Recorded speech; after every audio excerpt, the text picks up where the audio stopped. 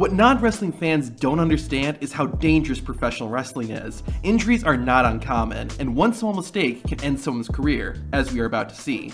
The story of Rick Rude is a really sad one. After roughly three years in WWE, Rick Rude joined their competitor, WCW. Unfortunately, it was here that the Ravishing One would end his in-ring career. WCW had a partnership with New Japan Pro Wrestling, which allowed wrestlers from both companies to compete on each other's shows. During one event, Rick Rude took on Sting for the WCW International World Heavyweight Championship. At one point in the match, Sting jumped over the top rope and crashed into Rick Rude on the outside. The ring was on a raised platform, and as he landed, Rude's back hit the edge of the platform. This caused a serious back injury, but somehow Rick Rude managed to finish the match. While Rude did win, his in-ring career was over. However, Rude would continue to be part of wrestling, but in a manager type role. Even more tragic, about five years after suffering a career-ending injury, Rick Rude would lose his life. On April 20th, 1999, Rude passed away due to a drug overdose. Christopher Nowinski got his start in WWE in an interesting way. The guy competed in the first season of the reality show Tough Enough. The show is about normal people who train to become WWE wrestlers,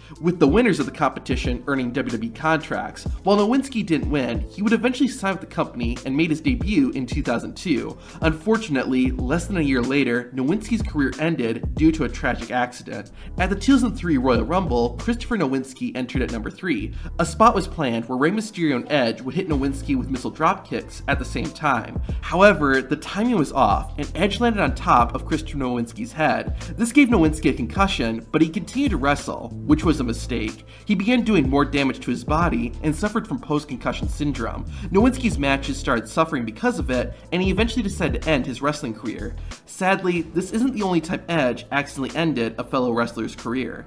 Bret Hart called himself the best there is, the best there was, and the best there ever will be. While it may seem arrogant, the Hitman backed up this claim every time he stepped into the ring. Hart never injured anyone he wrestled against, and actually sometimes saved his opponent from an injury, like when he was wrestling Shawn Michaels at WrestleMania 12. Unfortunately, one mistake abruptly ended Bret Hart's career, and it wasn't even his fault. At WCW's biggest show of the year, Starcade, the Hitman took on Goldberg in the main event. In the closing moments of the match, Goldberg kicked Bret Hart In the head and accidentally hit him for real. Bret described the kick like getting hit in the head with a hockey stick. Later, Hart was examined by a doctor who said he felt a hole the size of a quarter in the back of Bret Hart's neck.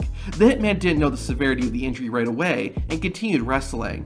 However, it didn't take long for Bret Hart to realize that he was suffering from post-concussion syndrome, and he soon retired from in-ring competition. Psycho Sid, or Sid Vicious, was a monster. He was usually the biggest man anytime he was in the ring. Because of his size, Sid mainly used big power moves, and he probably should have just stick to that moveset. However, during WCW's Sin pay-per-view in 2001, people backstage pressured Sid Vicious into doing an aerial move from the middle rope. Sid wasn't comfortable doing it, but agreed to anyways, and it was a big mistake. When he hit the move, Sid landed awkwardly and the impact caused his leg to break. Sid immediately underwent surgery and was later told he would never be able to run again. In the aftermath, Sid had to use a cane just to walk. However, Sid was determined to regain his strength, and he did. In fact, in 2012, he returned to WWE and wrestled one final match for the company. As I mentioned, Christopher Nowinski wasn't the first time Edge was involved in a career-ending injury. When the Rated-R Superstar made his WWE debut in 1998, he took on a man named Jose Estrada. The match had just begun, and Edge performed a suicide senton onto Estrada. However, Edge's leg came crashing down onto his opponent's head. The botched move broke Estrada's neck, and the match ended when he got counted out. While Jose would wrestle a little bit longer, his WWE career ended about a year after the injury. Sometimes the opposite happens, and wrestlers actually hurt themselves in order to save their opponent from injury. To see those incidents, watch this video.